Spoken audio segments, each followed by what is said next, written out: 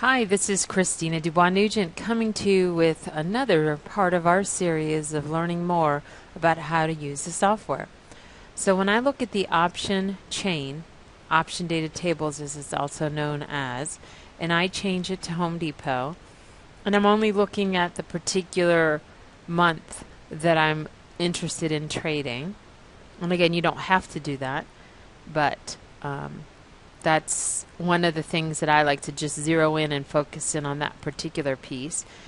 And I often look at percent to double, which allows me the ability to find the option that doubles the fastest, whether they're calls, remember on the left hand side, or puts on the right hand side, which often is the closest to at the money or slightly in the money um, option that's one thing to take a look at it, which basically says that this particular option will should go from a 99 cent value to a dollar 98 cent value as long as the stock moves 2.34%. So when you're looking at the underlying stock and you're saying okay the stock is trading at in this example 114 uh, 30 and it needs to move 2.34%. Oops, I did that wrong. Let's do that again. All right. If I'm looking at 114.3 times 1.0234, the stock would need to move to roughly $17 in order for that option to double in value. Okay, so that's one way and one view that you can take a look at because it helps you drive the most efficiencies of underlying stock movement. How much money can I make? Most money I can make on least amount of stock movement. Now, another view is all Greeks. Now, by default, whether you're looking at percent to double or verticals and Greeks, you are always going to see delta. And delta is going to be a slightly different color. I know it's a little harder to see right now.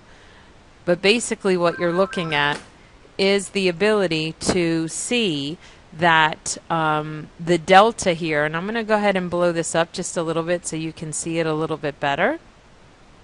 So let's see if I can just blow it up a little bit higher, uh, bigger here. Okay, it doesn't seem to want to respond to that. So let's see. Here we go. A little slow, but there it is. Is you're seeing that, um, and I'm going to do my best to be able to show the stock price as well as the headings here. But the green color here is your delta. And delta has diff- different uh, definitions, different uses, but delta basically tells you how much that particular strike will move all things held equal as far as time, value, and volatility, but how much that underlying, uh, uh, what that particular strike will behave in relations to stock movement. So if the stock moves up from 114.30 to 115.30, a $1 move, you would expect the 114 call to move at 53.66% of that $1 move. Then, as you get cl- uh, more in the money, it's going to act more and more like the underlying stock. Where, and what is shown here, the 103 call, which technically has $11 of real value, it's going to act 93% like the underlying stock. So that's what you're seeing here. Um, that's the delta.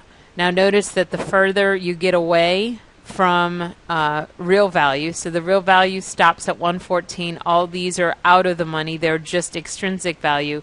And notice how much less those options will react like the underlying stock as much as the 125 call. If the underlying stock goes up a dollar, the underlying option, if you will, will move just 1%. Now, you know, it's relative because you're saying uh, uh, you know two cents, but at the end of the day, very very st- small movement. Something easier to understand would be the 116 call that's currently trading at 62 cents. Everything else staying the same. What you're looking at is a one dollar move on the underlying stock will show a 30 cent move. So this would go to be roughly 92 cents, if you will for the delta. Now, looking at the other Greeks, let's look at gamma, vega, theta. Now, gamma is basically the delta accelerator. How quick will a $1, the next dollar stock move affect the delta? I'm going to get back to that. Gamma, just remember, is the delta accelerator. Vega is the volatility relationship. How much will the underlying option change based on a change in volatility? And then lastly, theta, which is probably the easiest to understand, which is what's the impact of time decay.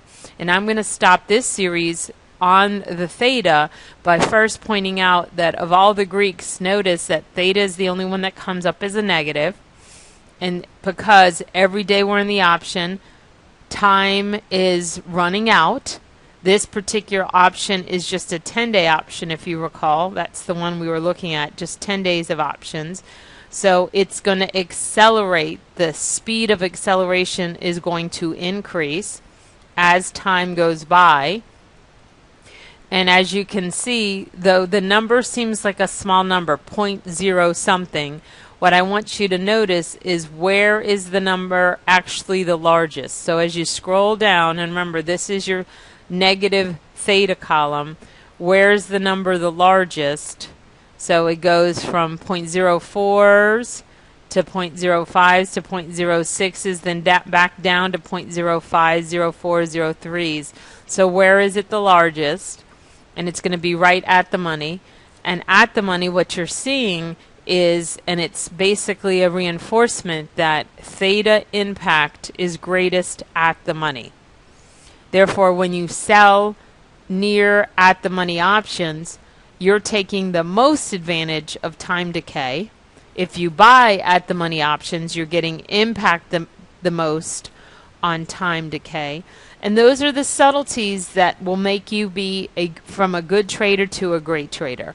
And those are the things that we focus in on with butterflies and credit spreads is selling closer to at the money, higher theta, and then we're going to be um, so we're selling closer to at the money, and we are buying further um, as far as theta, further less um, impacted theta, so a smaller theta value.